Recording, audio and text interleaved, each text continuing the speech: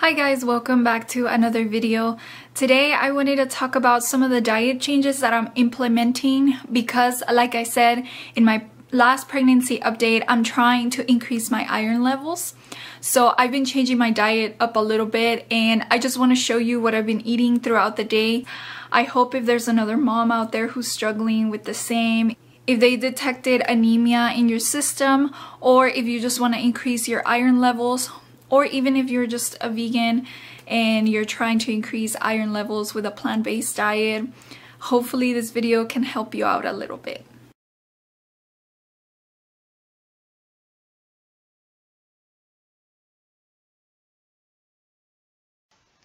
So before we start, I wanted to show you this graphic that I found online that covers some plant-based iron sources like leafy greens, beans, seeds, and other things.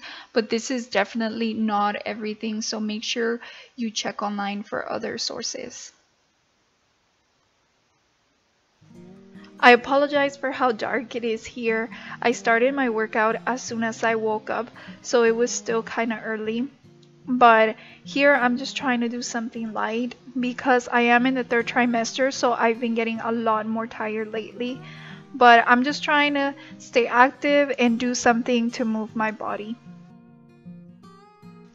For those of you who are new to the channel, thank you so much for being here. My name is Lola and I like to post pregnancy update videos every week just to keep up with what's going on during my pregnancy.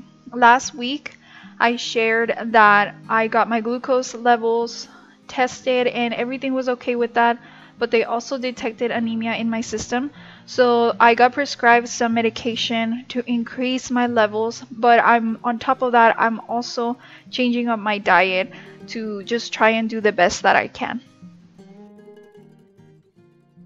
So the first meal of the day is an oats and banana and molasses breakfast bowl and here I'm just using some flax milk because flax seeds are high in iron.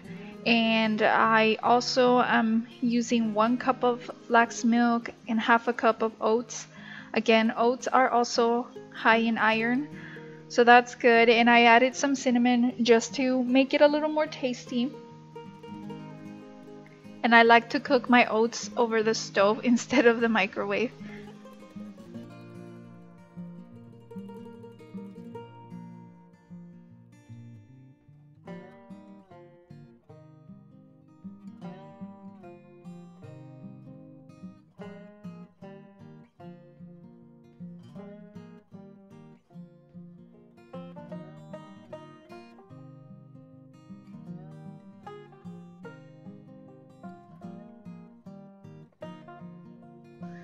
And this is the finished product. I really like how the oats taste with the molasses.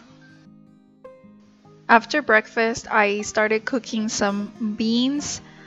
And I'm not gonna have the beans now, but I just like to start cooking them early so that I can use them for later for dinner.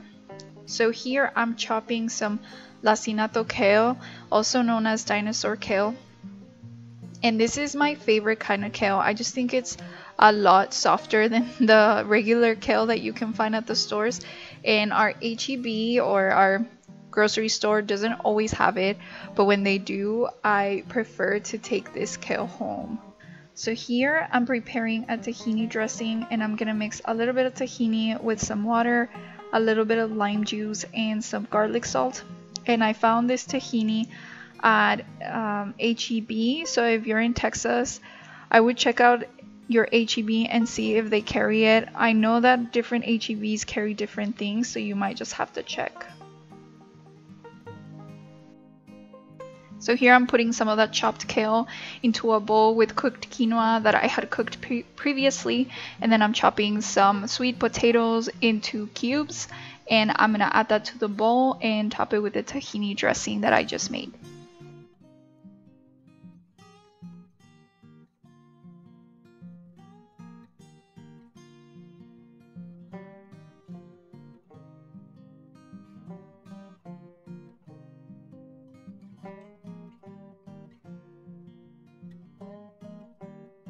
This is the finished product and it tastes so good. I highly recommend this meal. And if you want to add a little bit more protein and also add a little bit more iron you can cut some tofu into cubes and or strips and add it to the bowl like i did here. So for dinner, I made some chili and I actually use masa harina to thicken my chili because I like it to be a little bit thicker. So if you can find some masa harina from the brand Maseca or any other brand, I highly recommend it because it makes the chili a lot thicker. And this is what they actually used for corn tortillas. I also use some masa harina in this cornbread and I'll have to put the recipe for you guys in my blog because it came out really well and it went perfect with the chili. So now I'm going to talk about some of the snacks I had that day and throughout the week. Some of them are smoothies and I like to use that flax milk that I told you guys about. And I also like to have some fruit, primarily oranges because vitamin C increases your absorption of iron. So that's something to keep in mind and I also add some lime or lemon into my water just to try and increase the vitamin C content. Then I found this yogurt by Daiya. My husband actually was the one who found it and he brought it to me and it's it's got some iron in it so I thought that was a good a good choice for a snack. And then also some shredded coconut. This is a natural one unsweetened. Some figs, and then I found this protein crunch trail mix that is vegan and this one is an HEB brand. Thank you so much for stopping by and visiting my channel. Please let me know if you have any questions or comments. I'd love to know your opinions and I'll see you in the next video. Bye!